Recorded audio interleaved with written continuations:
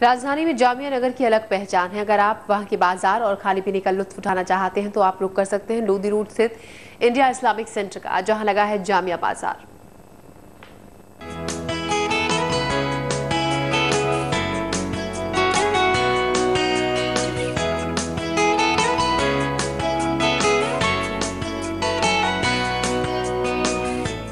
Islamic centre में इन दिनों खास चहल पहल है। इसकी वजह है जामिया बाज़ार, जिसे देखने के लिए जानी मानी हस्तियाँ पहुँच रही हैं। इस बाज़ार में महिलाओं की मनपसंद चीज़ों की भरमार है।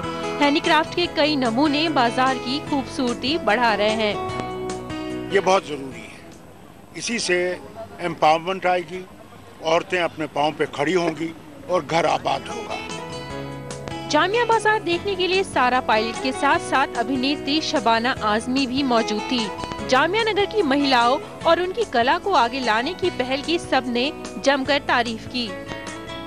ऐसा ज़रिया रोज़गार का मिले ताकि औरत अपने पैरों पर खुद खड़ी हो सके।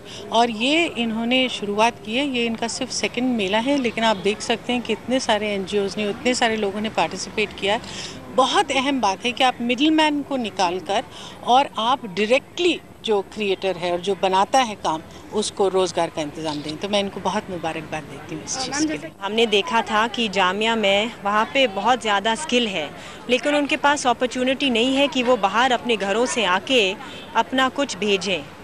और पैसे कमाना तो है बच्चे हैं घर में उनको स्कूल भेजना है। और जो वो एम्पावरमेंट होती है जब हाथ में पैसे आते हैं तो वो कोई और चीज़ वो उनको एम्पावरमेंट नहीं दे सकती है। तो इसलिए हमने ये जामिया बाज़ार शुरू किया लास्ट ईयर कि वो लोग यहाँ पे आके अपना एक स्टॉल सेटअप करके और जो मार्केटिंग अपॉर्चुनिटीज़ होते हैं, वो उनको मिल जाएँगे। इस बाज़ार में जामिया नगर की कला और संस्कृति की झलक देखने के लिए लोगों की भीड़ उमड़ रही है। ये बाज़ार 13 फरवरी तक चलेगा। तनुप्रिया, दिल्ली आज तक।